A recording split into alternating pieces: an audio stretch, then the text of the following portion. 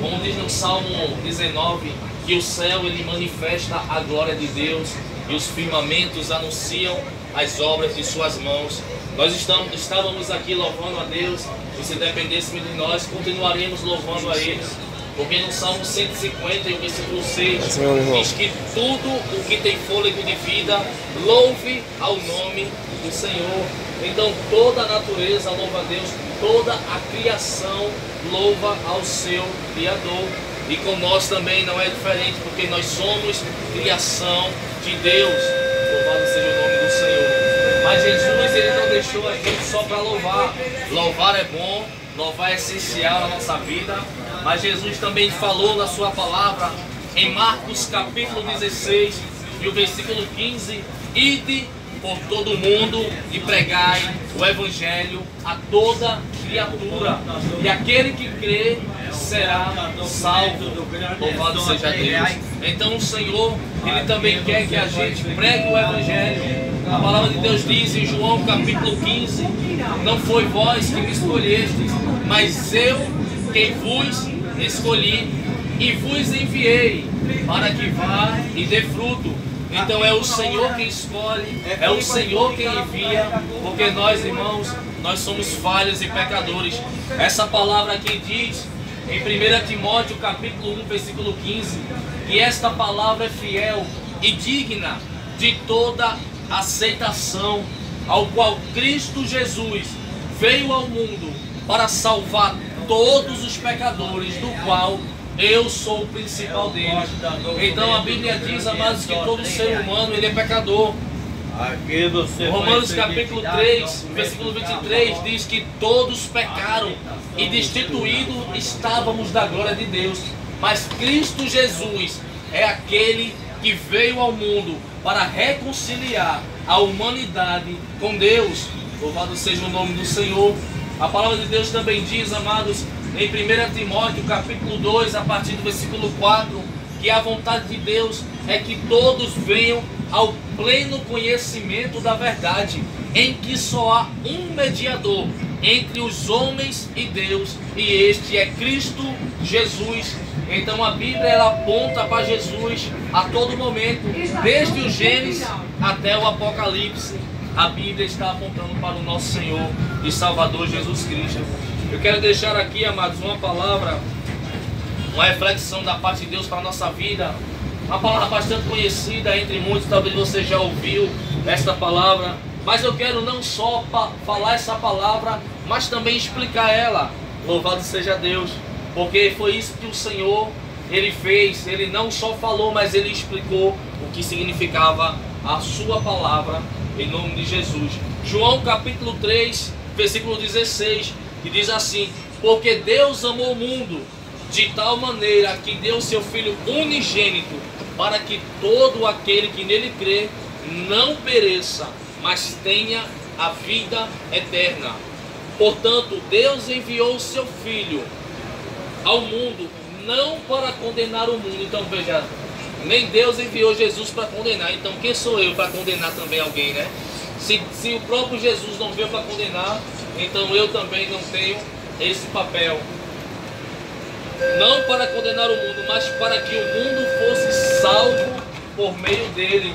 Então Jesus ele não veio para condenar, mas para salvar, salvar as almas que estavam perecendo. Versículo 18 diz: Quem nele crê não é condenado, mas quem não crê já está condenado, porque não acreditou no nome do Filho unigênito de Deus. E o julgamento é este: que a luz veio ao mundo, mas os homens amaram mais as trevas do que a luz, porque as suas obras eram mais. Pois todo aquele que pratica o mal odeia a luz e não se aproxima da luz, temendo que as suas obras sejam reprovadas. Então veja, versículo 16: Deus amou o mundo de tal maneira, que mundo é esse? Seres humanos quando diz que Deus amou o mundo, somos seres humanos, eu e você. Aquele que crê, aquele que não crê, os maus, os bons, todos. Deus amou o mundo inteiro. Mesmo a gente, amados, a Bíblia diz em Romanos capítulo 5, mesmo a gente, pecador, afundados em nossos delitos, Jesus, ele foi para a morte e morte de cruz, para que eu e você alcançasse a salvação. Louvado seja Deus. Então Deus amou o mundo que enviou o seu único filho. Deixa eu fazer uma pergunta aqui a você. Quem é que teria coragem de dar o seu filho para morrer em prol de alguém? Em prol de alguém que não está nem aí? Em prol de alguém que não crê? Quem é, que, quem é que teria essa coragem? Porque eu mesmo não tenho não, viu? Eu tenho duas filhas. Mas eu não teria coragem de dar nenhuma. Mas Deus, Ele entregou o seu filho para morrer por mim e por você. Quando a gente pensa, amados, na perca de um filho, a nossa alma ela já, já chora. Imagina entregar ele para morrer por alguém, por pessoas que cuspiram nele, por, por pessoas que blasfemaram, que bateram nele, que rasgaram a sua carne. Que foi por essas pessoas que Jesus ele morreu. E quando ele estava lá na cruz, mesmo lá na cruz e o pessoal zombando dele, e ele olhando naquele momento ele dizendo, Pai, perdoa eles, porque eles não sabem o que fazem. Louvado seja Deus. Então, amados, Deus ele amou o mundo, que deu seu filho para morrer por mim e por você, para que hoje eu e você alcance a vida eterna. Glória a Deus. Porque essa vida aqui, ó, passageira. Eu estou aqui daqui a minutos, a horas, a dias, a meses, não sei, eu posso não estar mais. Jesus disse que ninguém pode acrescentar um minuto sequer à sua vida. É Deus quem nos sustenta. Louvado seja Deus. Quem, quem é que pode dizer que vai dormir e amanhã vai acordar? Quem é que tem essa certeza que vai acordar amanhã? Quando a gente dorme, quem é que tem essa certeza? Porque muitos foram dormir e não acordaram. Você sabia que no dia de hoje, muitas pessoas foram dormir ontem e não acordaram hoje? Louvado seja Deus. Porque a Bíblia diz, amados, que a nossa vida ela é como um vapor que aparece daqui a pouco sumiu. Louvado seja Deus. Mas o que é que importa? A minha vida com Deus, como é que está a minha vida com Deus? A qualquer momento eu posso partir dessa terra. Louvado seja Deus. Não vá pensando não, amado.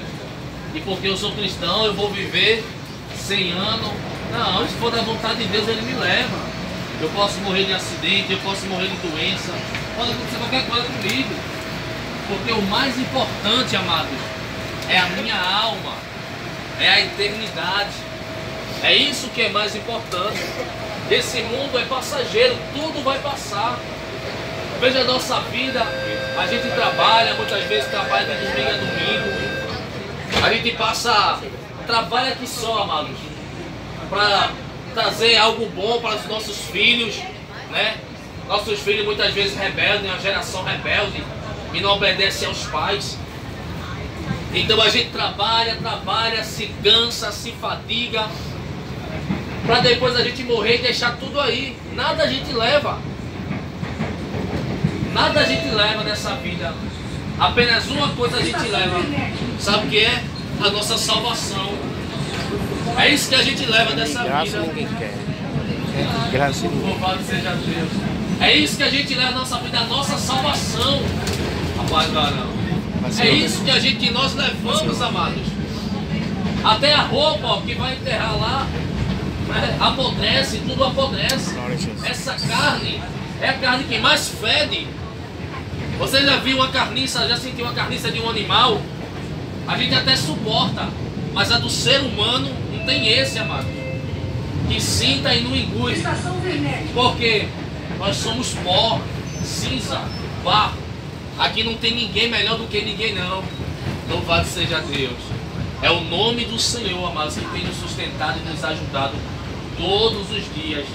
Aí o texto diz: olha, quem nele crê não é condenado, mas quem não crê já está condenado porque não acreditou em Cristo. Então o evangelho tem dois sentidos. O Senhor disse: aquele que crê será salvo, mas quem não crê já estará condenado. Eu não posso condenar você porque você não creu, mas a palavra diz que está. E sabe por que eu não posso condenar? Porque enquanto há vida, há esperança. Louvado seja Deus. O livro de Eclesiastes diz que enquanto há vida, há esperança. Mas eis uma questão: até quando haverá vida? Até quando eu estarei aqui nessa terra? Porque vai chegar o momento que eu vou partir. Louvado seja Deus. Aí o texto vai continuar, amados, e vai dizer, olha, e o julgamento é esse, veja, isso é o julgamento de Deus. Quem vai julgar é Deus. Deus vai julgar todo o ser humano, Deus vai me julgar. Louvado seja Deus. O julgamento é esse, que a luz veio ao mundo, mas os homens amaram mais as trevas do que a luz, porque as suas obras eram mais. Você sabe por que o ser humano não quer entregar a sua vida a Jesus? Porque ele ama mais as trevas do que a luz. Você sabe por que o ser humano não quer entregar a sua vida a Jesus e seguir uma vida com Deus? Porque ele ama mais os prazeres desse mundo.